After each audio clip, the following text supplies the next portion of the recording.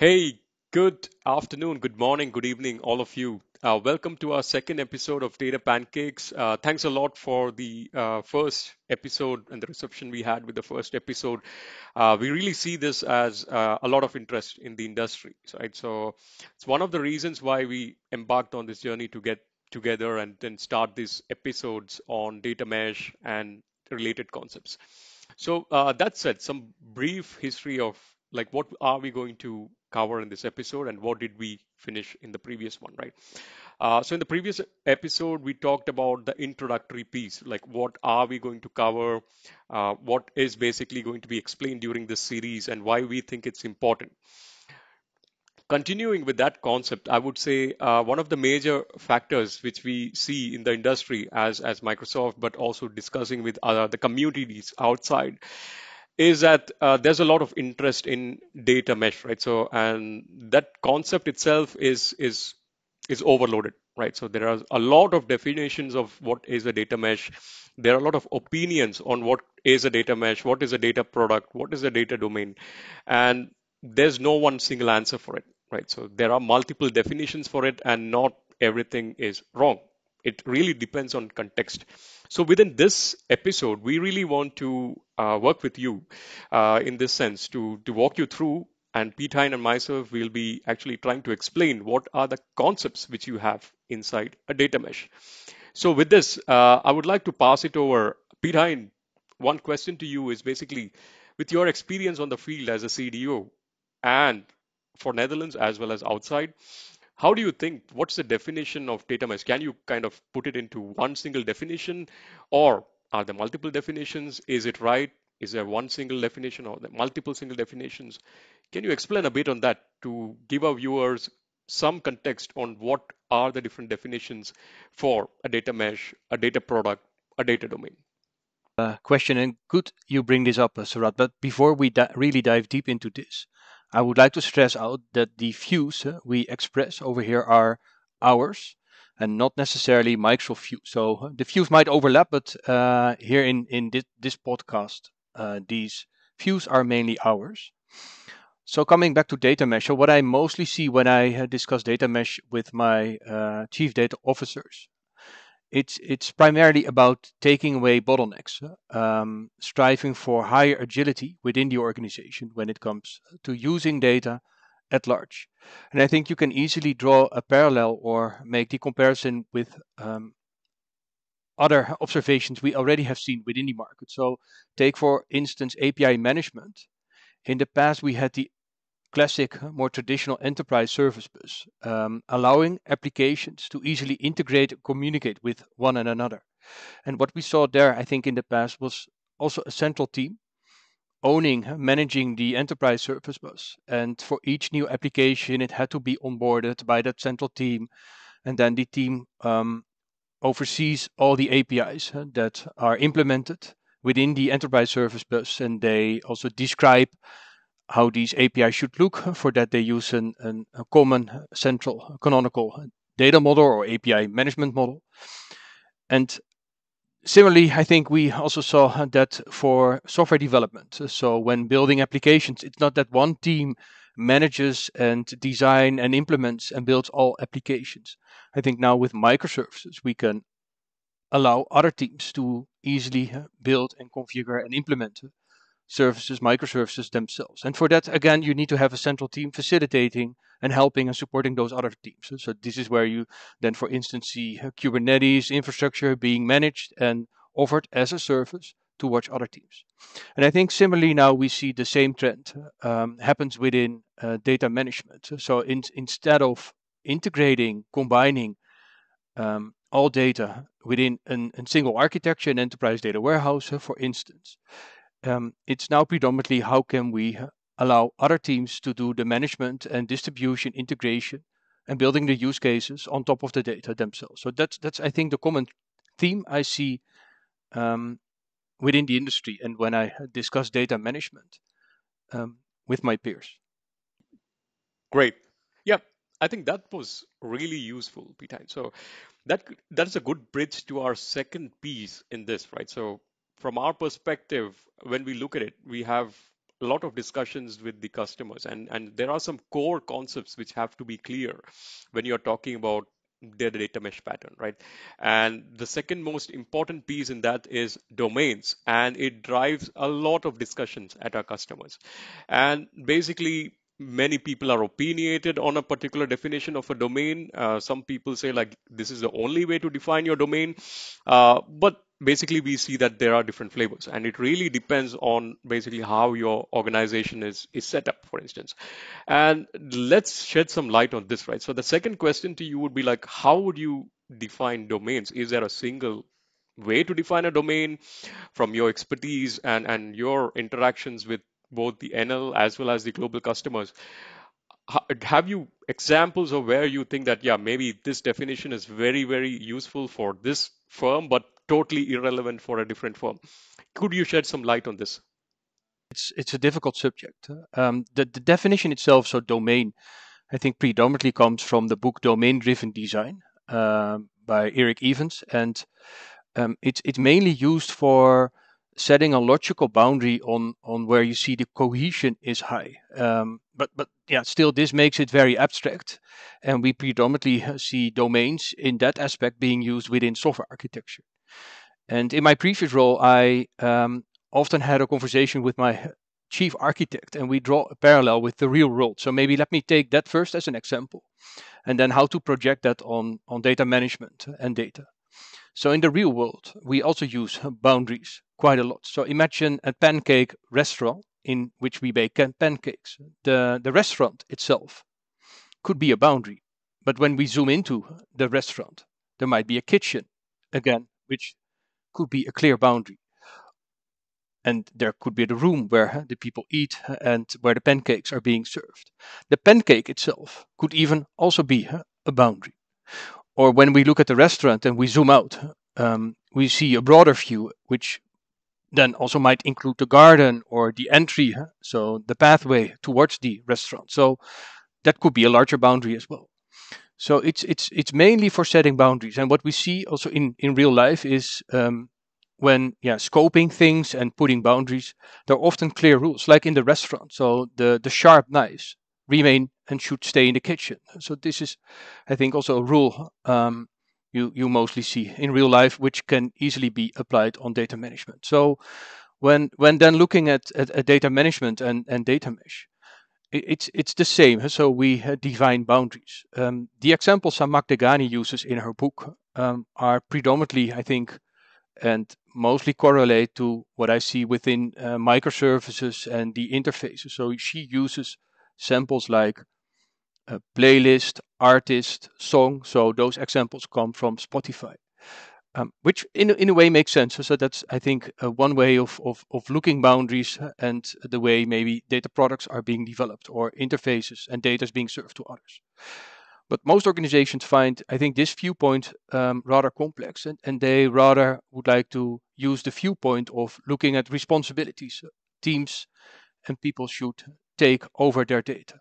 And I think there the viewpoint more often is being used so as grouping domains more rather than using data, but more looking at people, applications, and the processes. So a domain in that respect is more a business domain rather than a data domain or an interface domain. But again, yeah, that all said, I think when you use the word domain, you should be, I think, cautious of what is the viewpoint you are using when describing domains, because that, I think, um, those two are very well related. So it's important to do that. And last remark, so the definition of domain is what I say. It's more polymorphic. So yeah, these domains could even overlap or cross each other, again, depending on the viewpoint you take.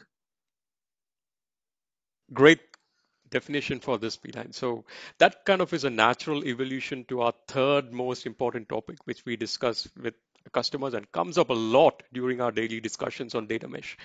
And again, a lot of opinionated preferences on how do we define this. That's data product, right? And to the, your example, which we went earlier, where you said, okay, when you're creating a pancake, you have a kitchen, and then you could come lower and lower to say, like, there would be different boundaries you define this.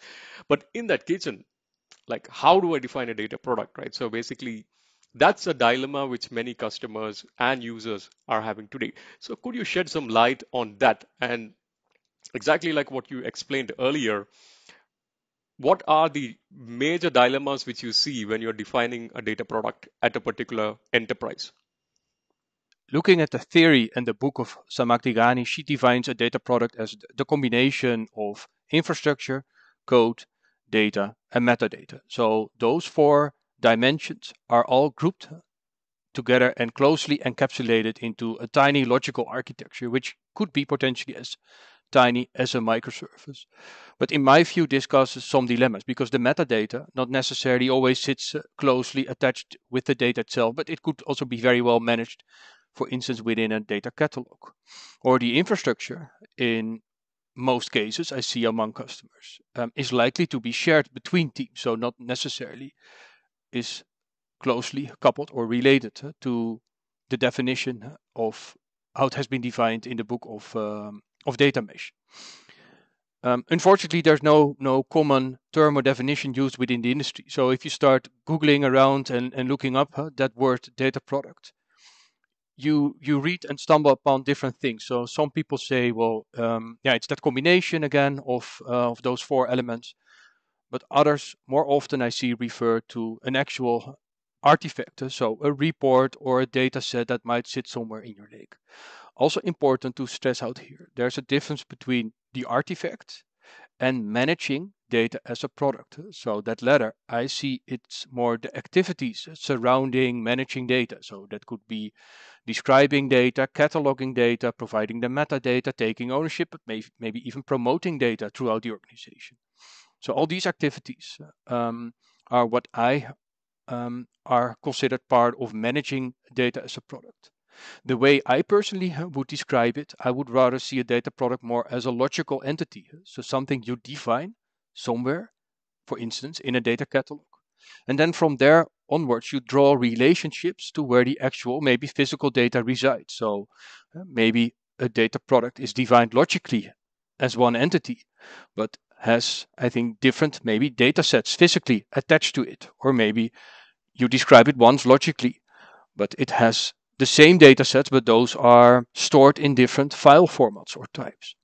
And from that same logical entity, you can also then easily draw relationships to other uh, logical objects. So maybe a data product has an owner, or um, its data is linked to a platform, or the data product is linked logically to an application where the actual data originates from. So I would rather define a data product more as a logical entity that sits on the business layer than yeah, those those four dimensions um, I mentioned before. Great. Yeah, so that gets us to the question about okay, now we discuss like three most asked or discussed topics when you get into this discussion, right? So, what is a data mesh? What is a data product? What is a data domain? So, from your perspective, before we start our deep diving into these concepts and getting into the journey of kind of really looking at how this is working out in practice, do you think there are more topics which our viewers need to know before we embark on this deep dive journey?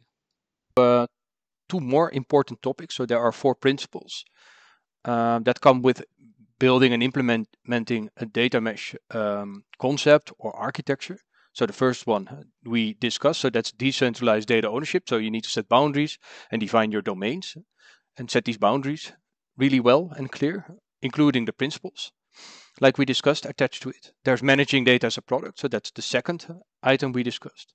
There's self-serve data platform. So you need to have infrastructure, a platform there to allow teams to easily integrate, extract data, distribute it between one and another. So that's the self-serve data platform principle. And the last one is about the governance, so federated computational governance. So the governance is not being done central, but it's more federated across the organization. And the word computational is, well, you should make it smart and do the enforcement, ideally automated uh, via policies you set maybe within your architecture. So hence uh, that word computational. So those are the four principles in nutshell. And if I may bring up a final slide or picture. So here on my screen now you see it all comes together. So we have data that originates somewhere, so on the providing side, so source-oriented domains, is that being called within data mesh. So this is where the data is being managed within application source systems. Those teams ideally should take ownership and they make data available in, in a construct or an, a model, what is called today a data product. So data that is easy, um, consumable, user-friendly, has been well described, um, and is managed somewhere within that self-serve data platform. And then on the consuming side, likely we will see domains as well. Uh, the data products not necessarily immediately would meet the requirements on the right hand side. So therefore, hence I expect a consumer specific transformation step always will be required.